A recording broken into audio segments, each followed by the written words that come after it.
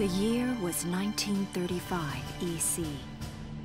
Two powers controlled the continent. In the east, the sun rose over the autocratic East European Imperial Alliance, otherwise known as the Empire.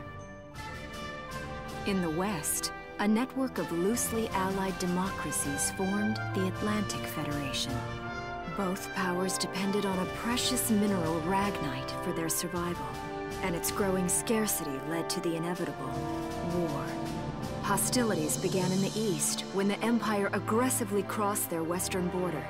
The Atlantic Federation responded, and the Second European War was on.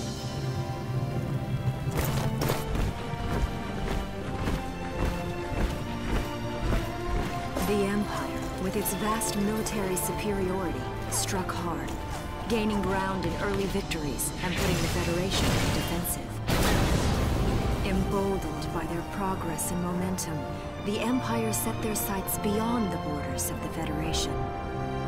In neighboring Gallia, a peaceful principality along the sea, they found their next victim.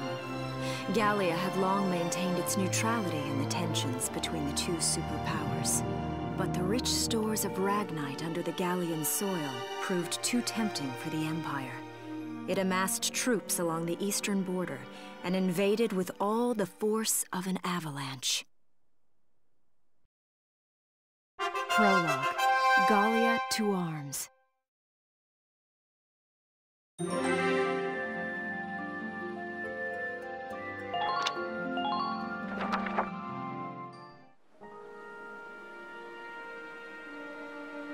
March 1935. Outside the Gallian border town of Bruhl.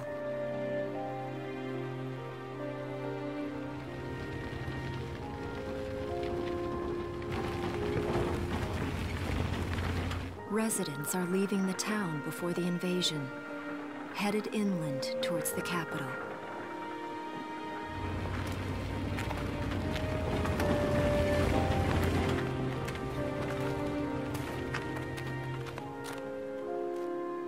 Haven't been down this road in years. It really hasn't changed very much.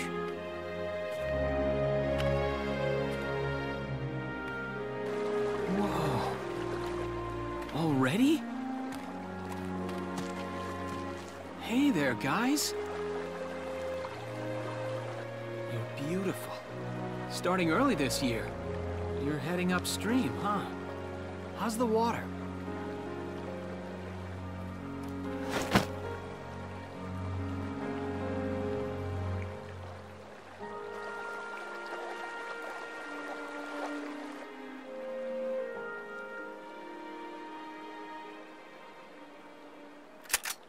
Freeze! Put your hands in the air. Slowly.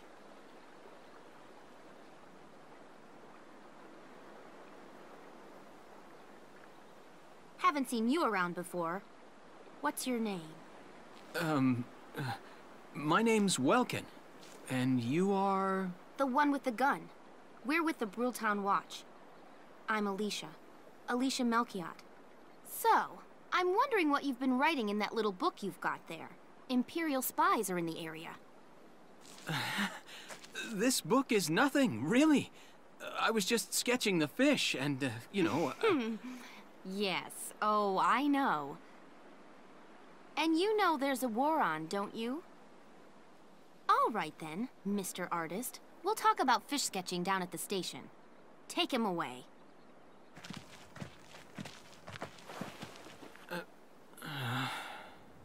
Thanks, fish.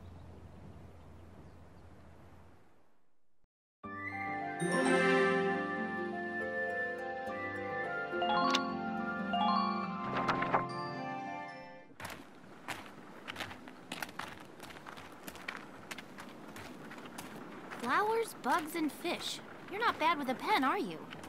I have to say, they're really very good. Thank you. So you see, I really was just sketching. Maybe. Or this could be some kind of secret code. And I intend to take my time finding out for sure. Great. Welks? Is that you? Isara! Oh, your timing is perfect. What have you gotten yourself into now, Welkin? Wait. Don't you live at the old General's house? That's right. I'm General Gunther's daughter, Isara. You do know everyone's supposed to evacuate, right? Yes, I'm aware of that. My brother's here to help me move to the capital, but that may be difficult. I mean, unless you're willing to let him go, that is. Huh?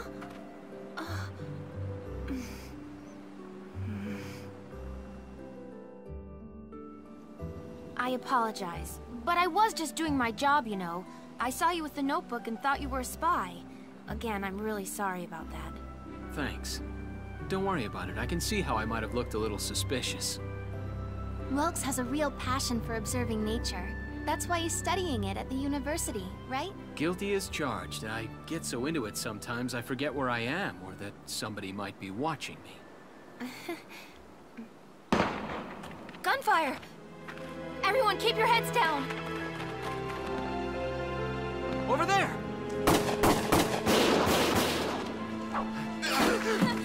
Come on!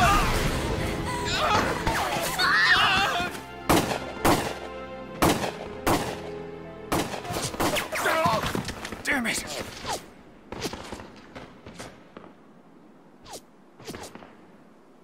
Welkin, you can handle a gun, right? Yeah. I mean, I made it through training anyway.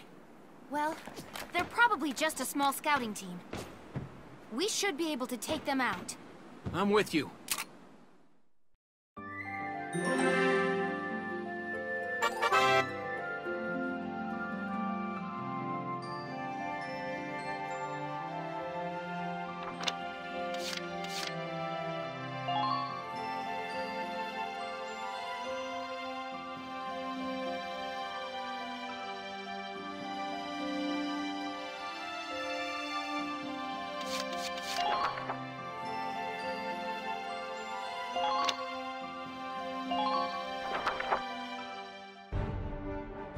Okay, here's the plan.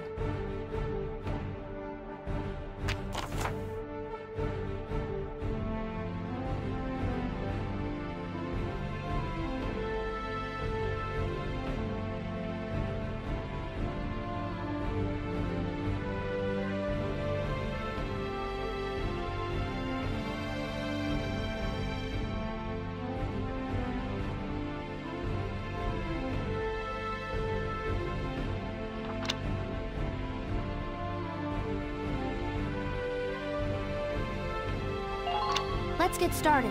Just stay calm and get it done.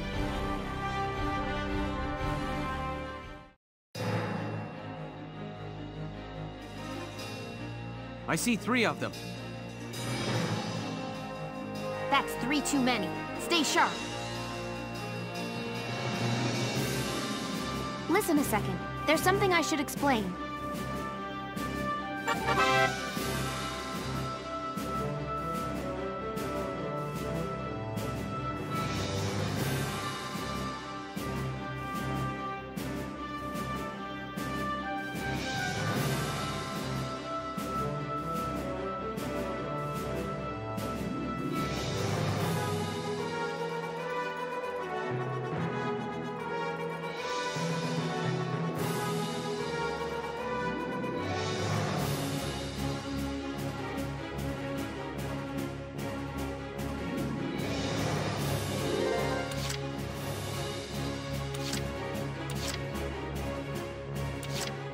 To go.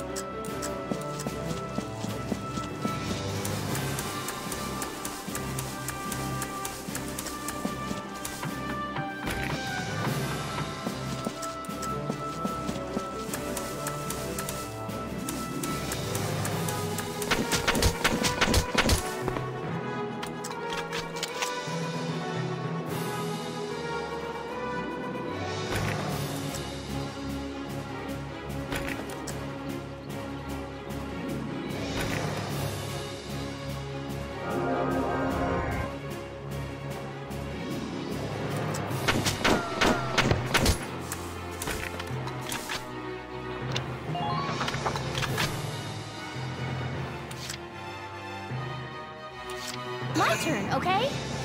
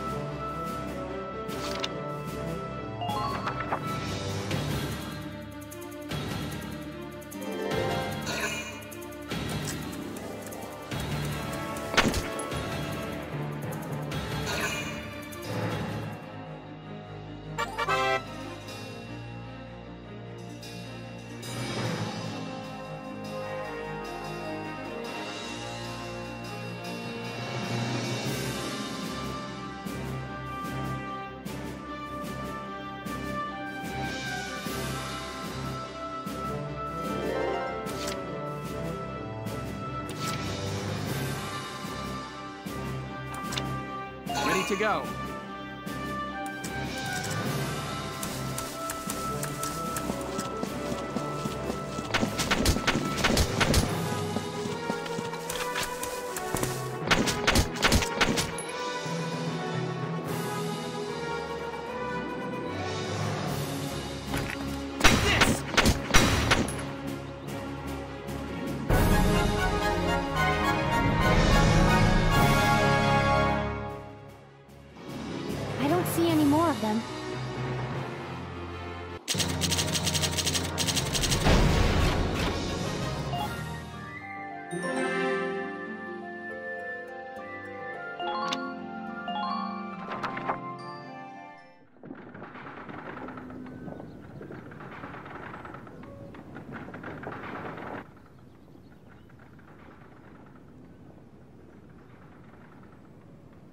Miss Melchiott.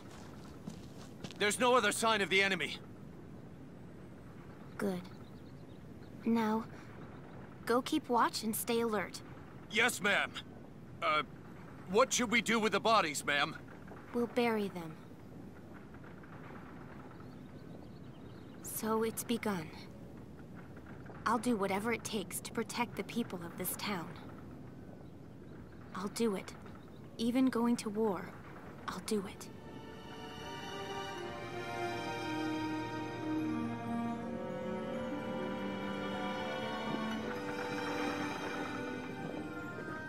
What are those? Seeds from the lion's paw. It blooms white, small, simple, and strong. I want to be able to remember, once the war is over, that it wasn't all just people killing people. That even in war, there was also new life. On the 15th day of the third month of the year 1935, the Empire began its assault in earnest. A formal declaration of war was made upon Gallia. Though it was only a small front in a massive continental assault, what followed would prove that a tiny nation could best a military giant. These events would tell a story of tragedy hidden in the mists of time. A story of courage and of trust, of persecution and hate, and of love blooming even through the flames of war. What follows is a record of this conflict and of those who fought, lived, and died.